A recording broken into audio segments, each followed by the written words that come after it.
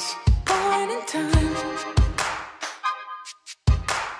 I can't risk just flying by.